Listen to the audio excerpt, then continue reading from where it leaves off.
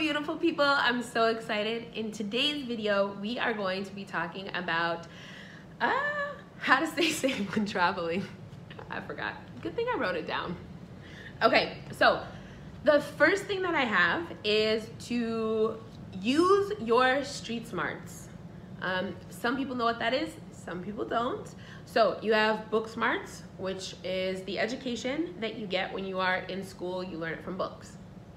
And then you have street smarts, and that's the education that you get from life, right? Living, hanging out with your friends, going out and experiencing life.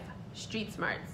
Um, when you travel, it's really important that you use your street smarts. Um, one of the things that I said was like learning to read people. So being able to look at a person and, you know, like, are they fidgety? Do they seem a little bit off? Do they seem really calm? Do they seem really anxious?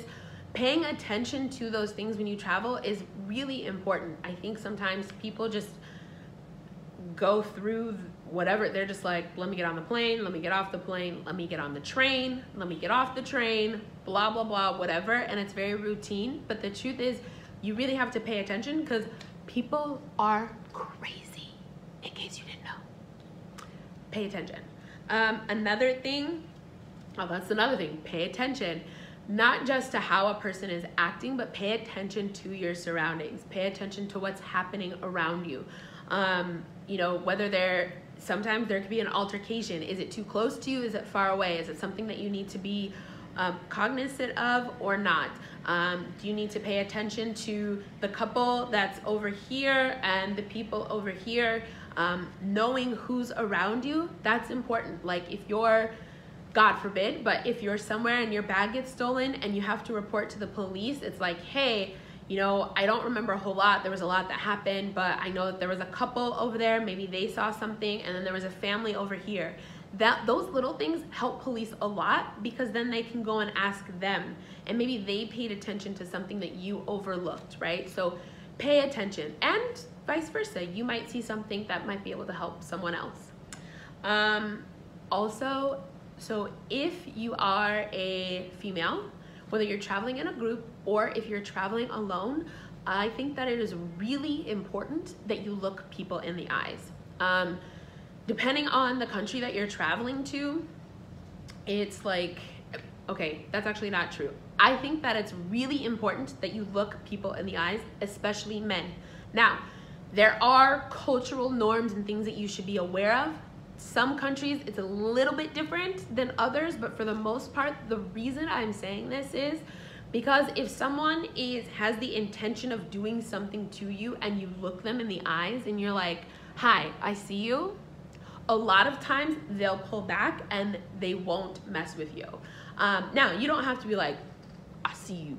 However, you can be like, "Hello," right? You can be a little bit nicer. Um, you don't have to be super friendly, like, hey, like, no, no, no, don't do that. But um, it's just simply saying that I see you. Like, I feel uneasy. I don't necessarily know if it's you, but I'm going to take the opportunity to look at every person that's around me in the eyes so that I see you.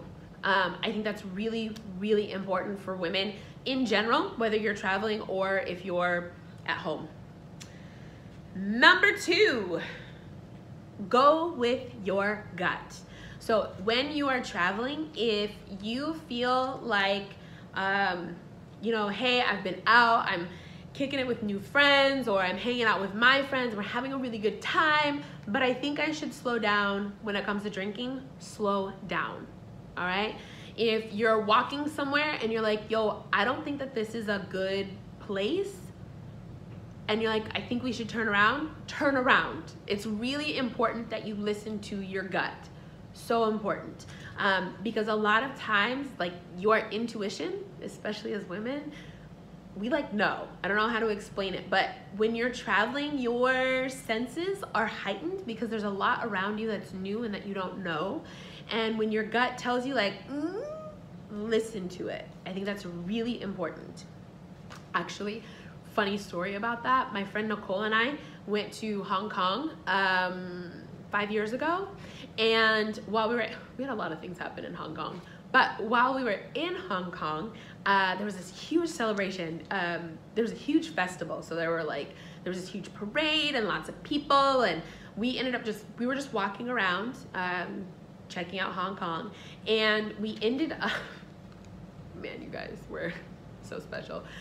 So there's like this temple, and there are all these people like burning incense and it's it was like really cool and we were walking further down the street and Nicole's like, yeah, I think we need to turn around. And I'm like, yep, I think so too. And sure enough, like what I would judge to be gangsters, I don't know, but I was like, I don't need to find out. And at first, it doesn't look like that, but our gut said like turn around. And as we were turning around, like all these guys came out of this building, and I was like, whoop, time to go. So listen to your gut. Number three, um, don't give too much information. I think this is important whether you are a man or a woman, whether you are traveling in a group or whether you are traveling solo. Do not give too much information. Just don't. So don't tell people this is your first time out of the country. This is my first time to this country. Um, don't tell people uh, how long you're gonna be in the country. Depending on what your gut says, don't even tell people your real name. I know that sounds crazy because uh, that sounds crazy. However, safety first, right? You don't know this person. You don't know if they have good intentions, if they have bad intentions. You you just don't know. Now, you talk to people all the time. Well, I'll speak for myself. I talk to people all the time. And uh, when my gut says like, I tend not to like give them my real name. I tend to, I don't tell them where I'm staying. I don't tell them how long, like what I'm actually doing in the country. And it comes with how they're asking questions. Some people genuinely ask because they just want to know, they're starting a conversation. And other people ask a series of questions that are very, what I would deem to be very personal and prying. Um, like they're very specific, like how long are you gonna be in the country? Who are you traveling with? Where are you staying? How long are you gonna be staying there before you go to your next destination? You don't need to know all of that. That's me no, we did not click on a deeper level. We are not friends. You don't need to know. So don't give too much information. Um, stay safe. Next, ah, this goes with don't give too much information, but don't tell anyone where you're staying right? Unless they are, like, if you are in a uh, tour group and this is like before you leave your house and your friend's like, hey, what hotel are we staying at? That's where you tell your friend or the person in your group where which hotel you're staying in. Don't tell people where you're staying. As, like in general, right? Unless just don't tell people. Meet at a central location. If they're like, hey, I can I'll meet you at the restaurant because you don't know them and people are crazy. I believe that human beings are wonderful and amazing and that we're really good, right? Initially, innately, we're good. However, the world is crazy and as people become adults, they lose their minds and they do, they're crazy, right? So their interests are definitely, they don't have your best interests at heart. So when you're traveling, don't tell people where you're staying because people will stalk you. People will follow you. People will want to find out all sorts of information about you that they don't need to know. Um, this is how people get kidnapped. This is how people go missing. Don't tell people any of that information. Um, also tip especially for the ladies but fellas if you want to take it feel free. Um, when you are checking into a hotel whether you are with someone or whether you are by yourself when you go to your room I recommend that you do not go directly to your room. I recommend that you walk, if there are other people around you, I recommend that you walk past your room until the hallway is clear and then go back to your room, especially if you are traveling as a solo woman. That's my tip. Um, also, when you're in your room, check your room. Um, I know that sounds crazy. My mom is a flight attendant, and that was one of the first things that she taught me. She was like, you go through your room and you check to see, like, you check behind the curtains, you check under the beds, uh, and you check behind the doors and in the closet. And it seems crazy, but you guys, there are crazy people. Traveling is wonderful. Be safe. That's all I'm saying. All right, next. Um, have copies of your passport and any paperwork that you need. So if you um, need an invitation letter to get into a country, if you um, need, like if you need a visa, um, if you're staying as a student for a long period of time or anything like that, have extra, have an extra copy of all of that. Um, I personally have four copies, and that seems like crazy. I have the original. Um, then I have a physical copy that I put in my suitcases, one of them. Then I have a digital copy, and finally I have a copy that I give to someone at home that I trust. So whether it's like my sister or my mom or my brothers, I say, hey, I'm leaving the country. I want you to have these documents in case something happens. And God forbid, um, you know, maybe I don't have Wi-Fi. That does happen in places. Um, and so then I need for them to send a copy to whoever needs a copy and they can do it for me.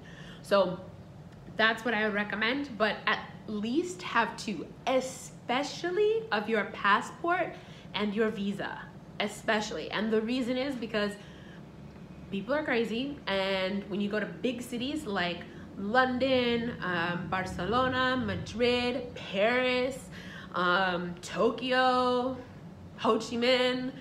There are pickpockets everywhere and they will pick, passports are high, that's a lot of money, right? So just be careful, number one. But number two, have a copy so that as you go back and you get like your passport and you report it to the police and all of that, like you have, you're like, hey, this is my passport, this is the original, um, you know, it's in a color copy, and then they can help you with that.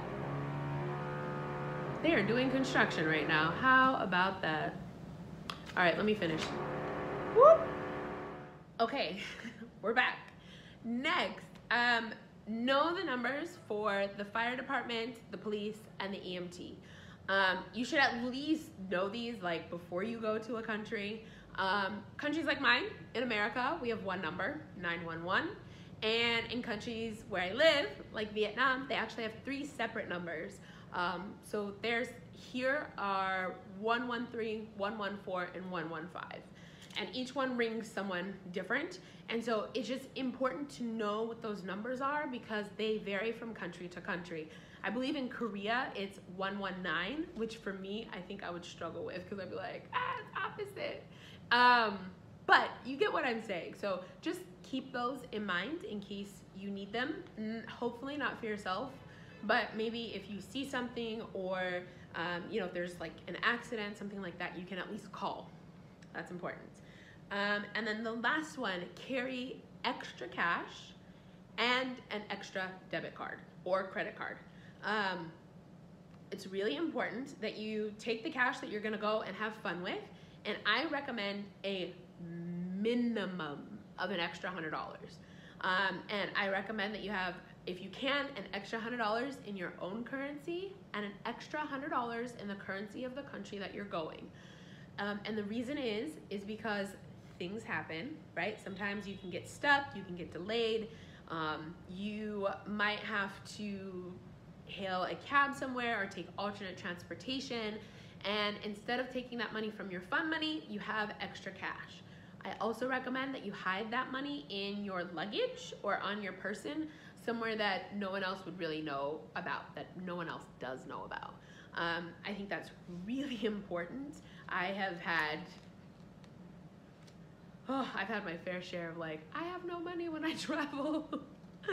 that's why it's on here. And like I said, it's a safety thing because if you're stuck somewhere, you have money to get unstuck. Um, bring an extra debit or credit card because sometimes as you travel, some of the ATMs and banks don't talk to each other. Um, I learned this in Hong Kong. My friend Nicole and I, uh, it was a Sunday evening and I wanted to buy a bag. And so I went to an ATM and I put my PIN in and it was like wrong, error. And I was like, that's weird, I'll try again. I tried a second time and it ate my ATM card. Not cool. Um, and then she tried and it ate her ATM card. Now, thankfully, I had brought two, but um, we later found out it's because that particular bank in Hong Kong did not talk to our bank in the States. So, like, the whatever however they talk to each other whatever like that, the systems or whatever, they didn't match. And so that bank, as a precaution, a lot of times they're like, oh, this is a foreign card. Um, it's a specific type of foreign card. And so that bank tends to take those cards. And if we would have gone in the next day, they would have given us our card back.